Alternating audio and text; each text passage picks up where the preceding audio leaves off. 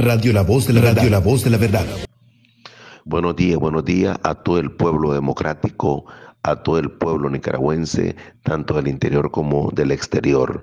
Eh, les comunico que en este preciso momento, a primera hora prácticamente de la mañana del día de hoy, en las eh, elecciones regionales de la costa caribe norte, comenzaron a darse ya las primeras incidencias electorales, eh, en, específicamente en el eh, centro de votación que está en el local de la escuela de la Quiatara, Comunidad La Esperanza, Río Coco Arriba, en el centro de votación 1501-868-01, ¿verdad?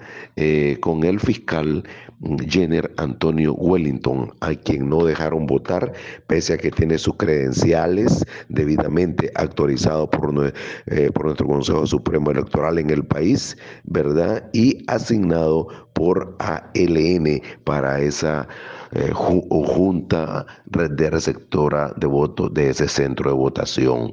Así que ha sido eh, eliminado, no, lo no le han permitido votar, no le permitieron votar y no sabemos cuáles son las razones por el que no le permitieron votar. Sin embargo, sabemos y estamos claros que todos los fiscales y los miembros de junta receptora de voto son los primeros en votar en cada junta receptora de voto.